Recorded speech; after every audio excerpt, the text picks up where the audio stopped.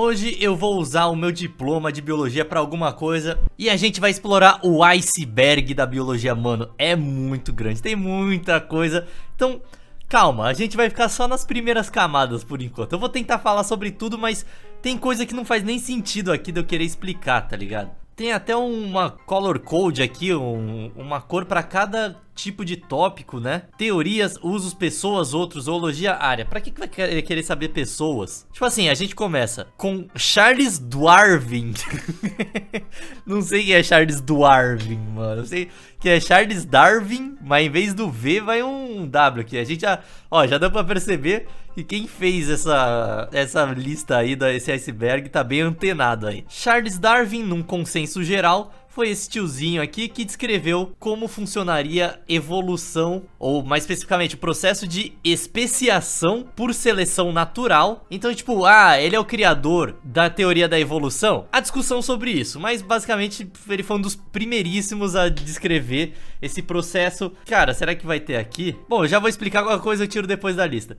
Basicamente ele foi viajar para a ilha de Galápagos, daí ele viu esses espaço, ele viu várias coisas assim, ele já foi com essa teoria na cabeça, né? Mas ele viu vários exemplos que faziam sentido. Tinham vários, várias ilhas no arquipélago de Galápagos e esses pássaros, eles eram muito parecidos no geral, os estur, esturjão é o nome? Não, esturjão é um peixe, mano. Estorninho, pô, não tem nada a ver com ão, é inho. Tem esse pássaro, o estorninho, né? Cara, não é nem estorninho, nem mexi... É tentilhão. Eu lembrava que tinha um ão aí. Tentilhão, tentilhão, porra. Daí, por cada ilhotazinha tinha um tipo de tentilhão. Eles eram até que parecidos, só que o bico deles eram diferentes. Daí o cara bateu o olho e falou: Porra, tem uma ilha aí que bicho só come minhoca. Daí tem o biquinho mais fino pra meter lá dentro da árvore e comer a minhoca. Tem uma que eles comem semente. Daí tem o bicão grosso aqui, que é pra esmagar a semente e conseguir comer o bagulho que tá dentro. Cada um tinha uma alimentação diferente, baseado no que tinha de mais abundante na ilha, né? Daí ele pensou, porra, mano, pode ser que um tentilhão, uma espécie de tentilhão veio pra cá há vários milhões de anos atrás, e daí todos eles estavam em todas as ilhas, mas tinha muita semente na ilha que o normal tava, e os indivíduos que conseguiam quebrar a semente com o bico acabavam passando seus genes pra frente, acabavam se cruzando, e também tem um bagulho deles estarem separados em ilhas, eles não tinham... Não que eles não conseguissem cruzar com outros de outras ilhas, mas dava uma dificultada, então no final de contas diferenciou nessa porra aqui, e basicamente o que ele quis dizer é que eles se adaptaram e... E é isso, criaram espécies novas. Vida, porra, eu não vou discorrer sobre vida, né? Não, não existe definição concreta sobre vida. Talvez seja isso que ele quis mostrar nesse iceberg, né? Mas tipo assim, se perguntar pra uma pessoa e bate o olho numa coisa e fala, ah, isso aqui é vivo, acho que a pessoa. Não, tem uns exemplos bem filhas da puta, né, velho? Tipo, fogo, é vivo ou não é? Vírus, é vivo ou não é? Então, não dá pra saber. Animalia, basicamente, é o, é o reino, a categoria da biologia que engloba todos os animais. Não sei porque falou isso. Criacionismo é a teoria que geralmente é apresentada na escola, que seria uma a teoria contra a evolução, né? Que seria basicamente, ah, Deus criou todas as criaturas do jeito que elas são agora e não tem meio que, tipo, ele decidiu tudo e acabou, velho. Pau no seu si. Esse é o criacionista hardcore, mas eu já vi gente criacionista softcore que, tipo, fala assim, mano, o processo da evolução e existe, é um fato, tá ligado? Não existe dúvida sobre se a seleção natural causa especiação. Tipo, e basicamente o que eu tô falando com isso é o processo de seleção natural separar tanto uma espécie que ela não consegue se cruzar depois. Isso não existe dúvida, isso já foi mostrado no laboratório, já foi mostrado na casa do caralho. Tem um monte de, de evidência, tá ligado? Isso aí ninguém na biologia desacredita, não é discutido. Mas o soft criacionismo, que eu já vi uma galera, talvez da minha turma assim e tal, é basicamente, ah, Deus deu aquele start assim no universo, pô, soltou aquele peidão do Big Bang, jogou coisa para todo lado e falou assim: "Vai, faz teu nome, mano". Daí o universo, porra, foi fazendo seus processos, mas tem o Deus lá, ele criou tudo básico e as coisas básicas foram se juntando. Daí pode ser, daí ninguém nunca vai saber, ninguém vai ter certeza de porra nenhuma. Homo sapiens, esse que vos fala é um Homo sapiens. Aristóteles, mano, o que, que o Aristóteles tem a ver com biologia? Aristóteles Biologia. A biologia de Aristóteles, ele era Fazban. Porra, só site bom aqui, vamos ver o que fala. O que é ciência? Nossa, velho. Eu desses textos que, tipo assim, ah, vai, vai contar sobre o conflito de, de duas tribos. E daí, tipo, começa a contar, ah, no início do universo. Daí, caralho, mano, vai logo pra porra do conflito, eu quero saber do início do universo. É tipo isso. O que é ciência? Bem, ciência significa. Tu não precisa falar tudo, vamos ver aqui. Aristóteles tentou explicar como é que os pais transferem características hereditárias ao embrião. Tentou, mas não conseguiu, né? Sei lá, mano, acho que o cara confundiu, colocou Aristóteles aqui. Evolucionismo, já falamos, seria o seria o que é, o que existe mesmo, que faz que o criacionismo tenta fazer o contraponto, mas meio que evolucionismo é o que existe. Célula. Porra, tem que explicar o que é uma célula? É isso aqui.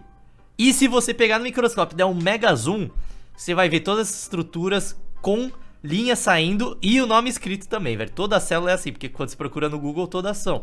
Então, se, eu, uh, se eu pegar o Microsoft para ver, tu veria isso. Biogênese é a teoria não, a realidade de que vida vem da vida. É impossível um organismo sem vida dar vida a um organismo com vida, mas e daí como é que foi a primeira vida que nasceu? Foi do não vida para, ah, sei lá, foda-se.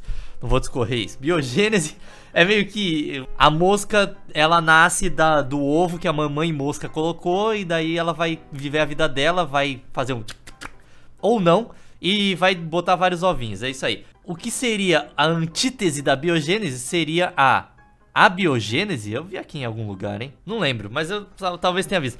A biogênese, que é ah, a galera achava antigamente que se tu deixasse uma pilha de lixo num canto, nascia rato. Tipo, o lixo se amalgamava de um jeito, se modificava para virar um rato. Pode ser um tanto de verdade, ou virar uma mosca, tá ligado? Bagulho assim. Vida composta de carbono é a vida que temos hoje em dia, né? Onde o carbono, se a gente pegar aqui, vamos pegar proteína, uma fórmula química de qualquer parada, velho. Tudo que não tá escrito aqui, tá ligado? Esses pauzinhos, tudo que não tá escrito é carbono. Porque o carbono ele é tão normal que foda-se, ninguém precisa nem descrever ele. A gente só aceita que ele tá lá, tá ligado? Carbono pra todo lado, carbono, foda-se, carbono, carbono, carbono, carbono. E é isso aí. Tudo é feito de carbono, você é feito de carbono, mas você é mais feito de água do que de carbono. então tem isso. Micro-organismos são bactérias, protozoários, organismos pequenininhos, microalgas, micro mil coisas, velho. Tudo isso aqui são micro-organismos. Todas essas carinhas aqui e mais ainda que a gente não conhece. Plante que seria tipo, é, ele falou animalha, plante seria as plantas, é isso. Água, H2O, conhece água? É tipo o que tem no mar, tipo o que você bebe.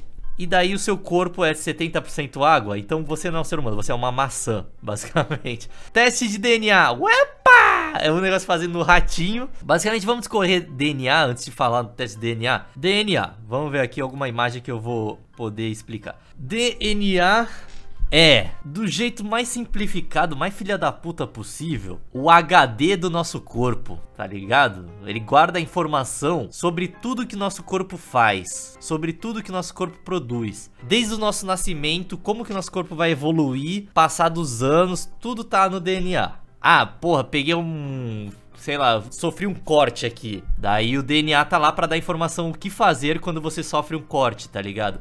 As coisas são ativadas de um jeito, por exemplo, assim, ah, sofri um corte. O que, que vai ativar a resposta a um corte? Talvez o conteúdo que vai ser expelido pela célula que foi explodida pelo corte, tá ligado? No final de contas, chega no, essa informação DNA, roda, ah, qual é a resposta disso? Vamos procurar e roda a resposta, começa a produzir esse negócio que vai sair lá para te curar do, do ferimento. Ou você morre depois.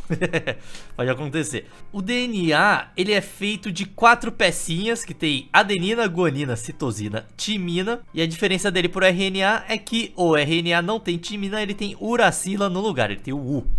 E o que quer dizer essas paradas? Mano, nada que se importe. Quer dizer que, tipo, tem quatro opções. E daí, com essas quatro opções, a gente consegue criar alfabetos inteiros, tá ligado? Tipo assim, se tivesse só uma opção, não ia ter diferenciação de nada. Ia ser tudo a mesma coisa o DNA, não ia ter como você criar paradinhas diferentes, né? Porque a diferenciação não ia existir. Se tivesse só duas, daria, daria, mas ia ficar, porra, meio loucão, tá ligado? Imagina escrever um texto inteiro só em binário, é uma merda. Então é tipo meio isso, é quadrinário, tem quatro e é o suficiente para fazer umas maluquices. Tem mais uns uns outros aí, mas não vamos entrar nisso, né? E, porra, vamos explicar como essas quatro coisas interagem, basicamente, tipo, o DNA ele tá lá pra criar uma proteína. Você tá vendo que o DNA, eles são duas fitas, né? Deixa eu abrir o Paint aqui, que começou a sessão Paint.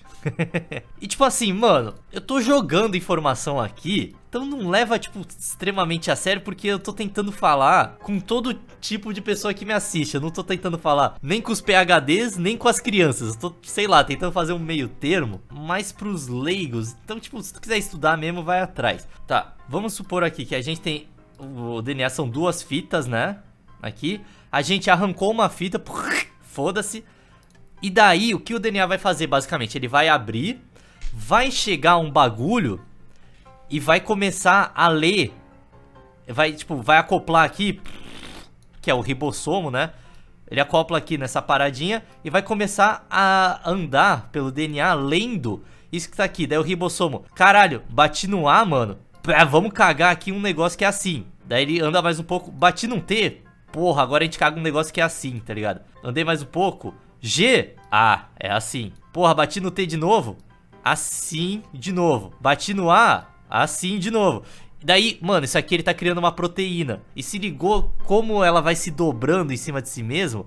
Então, cada proteína tem uma dobra específica para fazer uma parada, tipo, talvez até, vamos dizer, mecânica no seu corpo. Pensa como você precisa de uma ferramenta, de uma chave Allen para abrir um negócio específico e nenhuma outra chave consegue abrir. A proteína seria meio que isso. É, jogando, assim, vamos imaginar que seja isso. Você tá criando uma ferramenta dentro do seu corpo para abrir um bagulho do jeito mais específico, melhor possível. E ela tem que ter aquele formato filha da puta que só vai ter se seguir essa ordem aqui, tá ligado? Daí, tipo, mano, porra, deu um erro aqui, isso aqui era pra ser T, ah, sei lá, o ribossomo leu como A. Daí, pensa que só um negocinho aqui já vai cagar o resto da proteína toda, tá ligado? Ela vai ficar toda tortona, então, tipo, não, não tem muito espaço pra errar. Depende, às vezes tem, às vezes não. Depende da coisa. Então, DNA é isso, eu espero ter explicado várias coisas dessa... só com essa explicação de como o DNA funciona, né?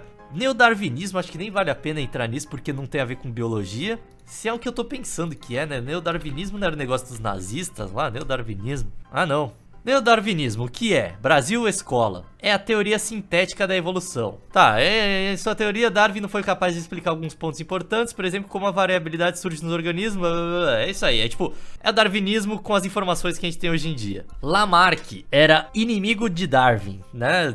Inimigo não, eles eram amigos até, mas o Lamarck propôs uma teoria que a gente aprende na escola, né? A teoria do Lamarck era o seguinte: tem a girafa primordial, a girafa original, e ela, porra, vê uma planta lá em cima, tá ligado? Dela, caralho, man, eu vou ter que mó esticar o meu pescoço aqui pra comer essa planta dela.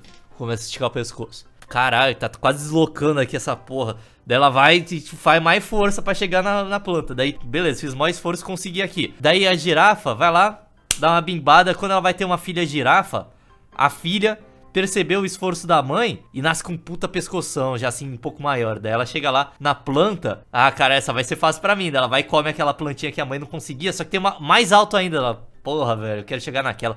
Ela vai tentando esticar o pescoço até o momento que as girafas ficam extremamente malucas com um pescoço enorme, assim. Só que não faz sentido nenhum. É tipo a mesma coisa que falar que você ir lá, fazer academia, ficar boladão, virar o Schwarzenegger. Daí tu vai lá dar uma bimbada e o seu filho nasce já, tipo, porra, cheio de tanquinho assim, porque, tá ligado? Não faz sentido. Não, não é assim que funciona a evolução. Mas o Lamarck, para não falar mal dele, eu lembro dele já ter feito muita coisa boa. Eu lembro que alguma coisa que a gente estudava, que ele tinha coisa boa também, mano. E, tipo, até certo ponto, vamos ver aqui, o que ele falou é real, porque, né, tem a epigenética que é, sua mãe passou fome, durante sua gravidez, tu vai nascer com mais disposição a guardar tecido adiposo, talvez. Não que exatamente seja verdade, mas tipo, tem coisas que o ambiente muda na pessoa, que o DNA dela responde de uma certa forma e acaba passando para sua cria. Mas não o caso do pescoço da girafa. Teste de DNA. Então, basicamente, a gente já falou do DNA. Agora, a questão do teste, mano, é um negócio bem mais simprão, tá ligado? Você não precisa pegar o DNA de alguém, ver todas as letrinhas, tá ligado? Tudo certinho. Não. Você faz um negócio chamado cariotipagem. Essas minhocas aqui. Basicamente, fazer o teste de DNA, pelo que eu me lembro, velho. Posso estar falando bosta, mas eu acho que era isso. Basicamente, o DNA, o jeito que ele fica na célula, é dessa forma toda cagada. Tá vendo aqui que, tipo, ele tá todo dobrado em cima de si mesmo? E é isso que acaba formando os cromossomos, né? Tem aqui esse, esse, esse X maluco aí, que nada mais é que várias, tipo, uma fita gigante de DNA dobrada em cima de si mesmo. Se a gente pegar os cromossomos de pessoas que são parentes, né? Essas regiões mais claras e mais escuras, que tem mais DNA, menos DNA, sei lá, uma coisa ou outra, um gene ou outro, acabam ficando mais com bandas, né? E elas são bem semelhantes em pessoas que têm descendência uma da outra. Mas tudo que eu falei, foda-se, foi por água abaixo, porque eu acabei de ver que hoje em dia eles usam sequenciamento de DNA para fazer o teste. Então é isso, não usa mais essa parada não. Mas foi bom para falar de cromossomos, talvez eles apareçam aqui, eu posso pular, né? Então, teste de DNA, basicamente, vê lá, T-A-G-G-C-T-T-G, essa porra aqui tem genes que são um pouco variáveis. Tipo assim, ah, o gene que faz ribossomo pra tua célula, mano, ele não pode mudar, ele não pode evoluir, porque senão fudeu, é um negócio zoado. Agora, tem um monte de gene que é, tipo, pouco utilizado, ou assim, é lixo genético, né? Que são regiões que sofrem muita mutação, muita, ao longo de várias gerações, né? Então pensa, mano, qual é a chance de você ter igual a de outra pessoa 1, 2, 3, 4, 5, 6, 7, 8 letras iguais, sendo que podem ser 4 letras, seria 4 elevado à oitava? É, é assim que faz essa conta, mano? Ou é 8 elevado à quarta? Sei lá. Enfim, é um número bem grande, tá ligado? 4 vezes 4, vezes 4, vezes 4, vezes 4, vezes 4, vezes 4. 1, 2, 3, 4, 5. Você entendeu, tá ligado? 16 mil de chance. Agora, pensa um negócio desse que são 20 mil bagulhinhos desse, um atrás do outro, que podem se modificar. E daí tu tem igual do outro maluco. Daí tu fala, é, é esse aí é teu filho mesmo, velho. Não tem como dizer que não é. Medicina, sei lá o que que é, deve ser medicina. Botânica, são só botânica, a área que estuda as plantas, né? Vírus não tem vida, já dei essa ideia aqui. Eu não sei se eu concordo ou não que o vírus tem vida e meio que foda-se se eu concordar ou não também, velho. Por que que existe essa discussão se o vírus tem vida ou não? Porque em algumas definições de vida, para você, para existir vida, um organismo tem que se reproduzir e tem que ter metabolismo. O vírus reproduz, check. Mas ele não tem metabolismo. O que, que isso quer dizer? O vírus, ele é tão filha da puta. Alguns vírus, tá? Tem vírus que eu acho que tem metabolismo, não tenho certeza. Mas o vírus é tão filha da puta que ele, em vez de ter um metabolismo próprio para produzir as próprias proteínas que vão criar mais vírus para ele se reproduzir, ele não consegue se reproduzir parado.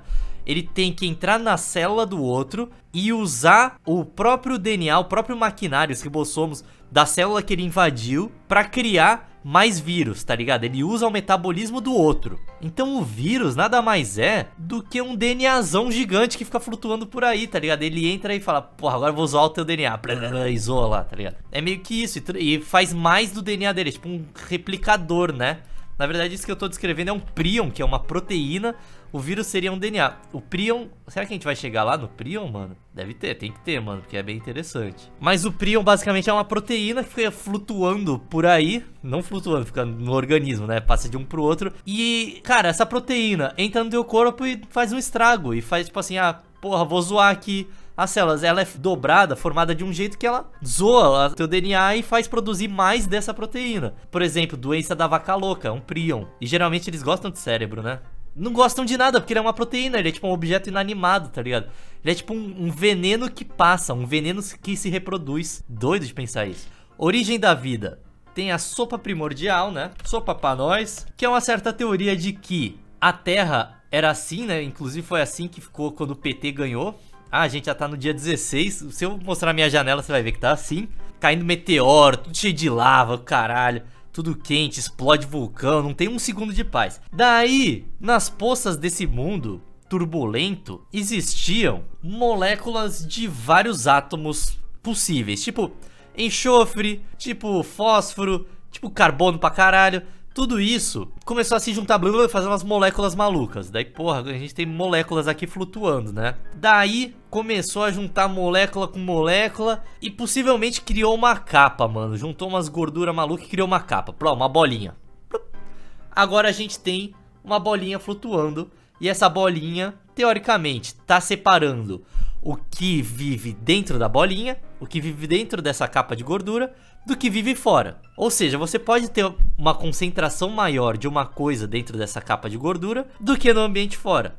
Né, porque ela não permite tantas trocas entre o ambiente, tem coisa que entra mais e sai menos do que se fosse ao esmo, se fosse ao aleatório. Partindo desse princípio, as coisas dentro dessa capinha de gordura começam a se organizar de um jeito que formam proteínas as proteínas já estavam fora, né? E elas começam a se organizar de um jeito que façam essas capinhas de gordura se reproduzir, né? Uma vai para um lado, uma vai para o outro. E elas têm meio que o mesmo a mesma coisa dentro. E cada vez elas vão tentando pegar mais coisa igual para ficar dentro, reproduzindo. Até o momento que elas conseguem formar um certo DNA aí. Talvez o DNA já estava flutuando por aí e entrou e começou a usar essa capa de gordura também, né? Tem esse, essa questão se existiram criaturas que conseguiam se multiplicar só por proteína, porque sei lá, como eu falei aqui tem o prion, né, que faz isso, mas o prion usa uma célula para fazer isso. Daí teve RNA, tem DNA, daí tipo começa a se dividir, né? o DNA começa a guardar informação e aí daí vai e vai. Aí chega em nós. anatomia, é anatomia. Tu abre um bicho, vê o que tem dentro. Decomposição, que acontece quando as coisas não necessariamente estão mortas, mas estão morrendo. Uma das partes importantes do ciclo da vida, né? Estudo da vida é a biologia. Cordados são nós somos cordados, né? São todas criaturas que têm espinha dorsal, como é que eu vou dizer? Eu não sei exatamente o que, que define o cordado, deixa eu ver. Tem presença de notocorda, é isso. Sistema digestivo completo, tubo nervoso dorsal. E daí é peixe, uns bichos esquisitos, tipo esse anfioxo. Essa porra aqui também é um cordado. Tunicados, que é tipo Mano, tunicado é uns bichos meio pepino do mar. Pepino do mar é mais teu primo do que um inseto, por exemplo, tá ligado? Doido isso. Ó a cara dele, sofrendo. Ah, socorro! Doidinho esse pepino, hein, velho? Esse tunicado aí. Doido tunicado. Cara, é tipo um ser humano que fica parado filtrando. Não, não tem nada a ver com ser humano, mas ele tem uma espinha dorsal, então eu gosto de imaginar que seja. Cadeia alimentar é aquilo, né? O tem o comedor primário, que comedor primário, velho. Que é quem vai lá e come a grama.